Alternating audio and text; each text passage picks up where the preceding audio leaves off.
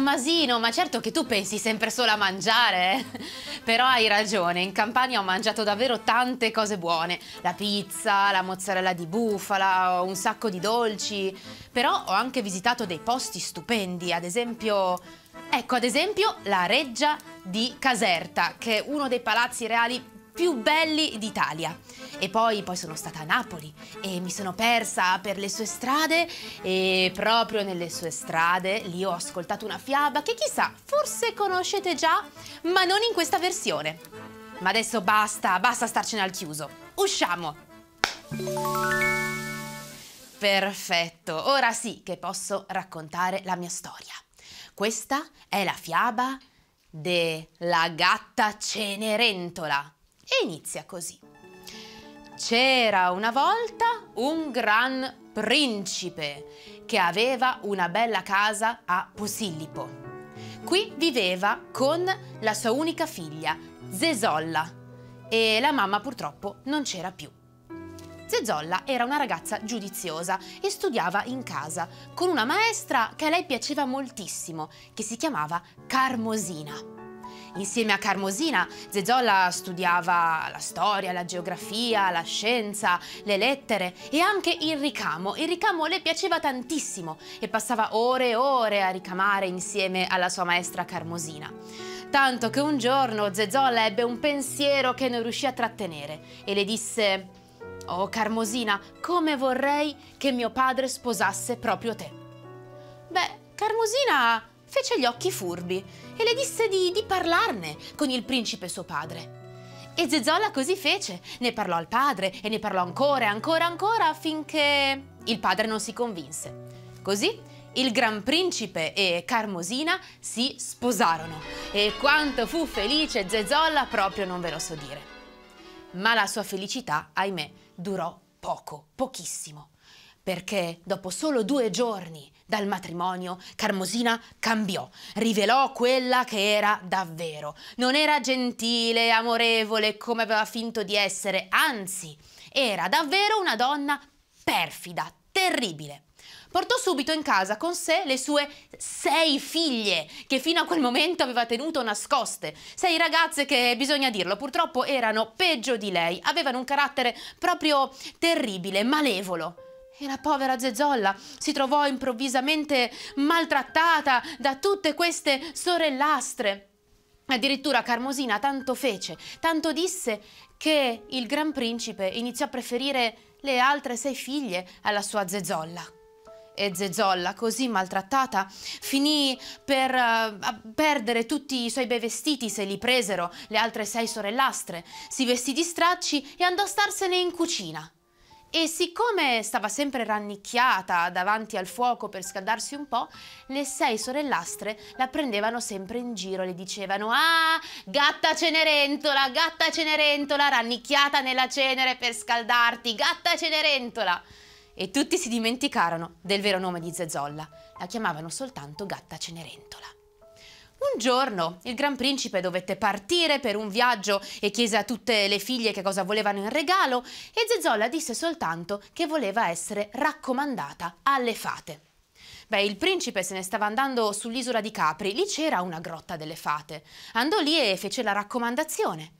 Allora dalla grotta uscì una dama con delle ali sulla schiena e diede al principe un dattero per Zezolla insieme a un secchiello d'oro, a una piccola vanga, una paletta e a un fazzoletto di seta. Zezolla fu entusiasta, piantò il dattero e lo vide crescere e lo bagnava con il secchiello d'oro e lo asciugava con la salvietta e quando il dattero crebbe e divenne una piantina, da un fiore uscì fuori una fatina e quando Zezolla era triste la fatina la confortava sempre. Gli anni passavano, Zezolla cresceva e le sorelle andavano sempre a grandi balli sontuosi a cui lei non poteva mai partecipare. Un giorno però si stufò, anche perché aveva saputo che alla reggia di Capodimonte c'era un gran ballo dove era presente il re di Spagna. A quel tempo era la Spagna a governare eh, anche su Napoli. Il re di Spagna era scapolo, tutte le fanciulle volevano incontrarlo. Allora Zezolla andò alla sua pianta di dattero, chiamò la fata e la fata ne uscì fuori e iniziò a vestirla come una gran principessa. E Zezolla andò al ballo senza che nessuna delle sorelle la riconoscesse. Il re di Spagna la vide, subito ne fu rapito, ballò con lei tutta la notte. Ma a un certo punto Zezolla ebbe paura che le sue sorellastre potessero riconoscerle, allora se la diede a gambe levate, tornò alla sua carrozza per fuggire. Oh, il re di Spagna non voleva perderla, allora le mandò dietro un suo fedele servitore. E il servitore corse, corse, corse, corse verso la carrozza di Zezolla. Lei, per distrarlo, gli lanciò delle pietre preziose, la collana che aveva indosso. Il servitore si fermò a raccogliere le pietre e Zezolla scomparve e le sorelle non sospettarono nulla. Ma arrivò un altro ballo, un altro giorno, Zezzola voleva proprio andare e di nuovo ripeté il trucco con l'aiuto della fata. Tutta bella abbigliata, danzò ancora con il re di Spagna finché non ebbe paura di star rischiando troppo, forse le sue sorellastre l'avrebbero riconosciuta, allora decise di darsela a gambe. Ma il re di Spagna non voleva perderla, le sguinzagliò dietro di nuovo il suo servitore il servitore, deciso stavolta a non perderla, corse, corse, corse, corse, corse dietro alla carrozza. Ma Zezzolla allora, allora lanciò dietro alcune monete d'oro. Il servitore si fermò a raccoglierle e quando rialzò lo sguardo la carrozza era svanita. Zezzolla tornò a casa e le sue sorellastre tornarono raccontando di questa principessa che aveva danzato con il re di Spagna e lei stette zitta, non avevano sospettato nulla. Però il tempo passava, arrivò un altro ballo, Zezzola voleva rivedere il re di Spagna perché ormai se n'era innamorata. Quindi di nuovo chiamò la fata della pianta di dattero e la fata la vestì di nuovo, la fece bella, bellissima, stupenda e Zezzolla andò al ballo, danzò con il suo re di Spagna finché non ebbe troppa paura di star rischiando, non voleva farsi scoprire, allora se la diede a gambe. Questa volta il servitore del re di Spagna era deciso a non perderla, si legò a doppio filo alla carrozza. E allora Zezzolla spronò i cavalli più veloci, più veloci, più veloci, perché non voleva proprio farsi sorprendere. E nel trambusto generale il servitore cadde a gambe all'aria, ma Zezzolla perse una delle sue scarpine dorate. Il servitore non ebbe altro da fare che portare la scarpina dorata al re di Spagna. Era l'unica cosa che era rimasta della sua amata. Re di Spagna non si perse d'animo. Quindi fece subito diffondere un annuncio. Sarebbe stato organizzato un grande banchetto a cui erano invitate tutte le fanciulle che partecipavano anche ai balli a Napoli. Beh, le fanciulle della città non se lo fecero dire due volte, parteciparono a questo grande banchetto, accompagnate dai loro padri. C'erano anche le sei sorellastre di Zezolla, insieme al grande principe. Zezolla no, perché lei le era stato imposto di restare in cucina lì nella cenere. Non poteva certo venire così al grande banchetto del re di Spagna.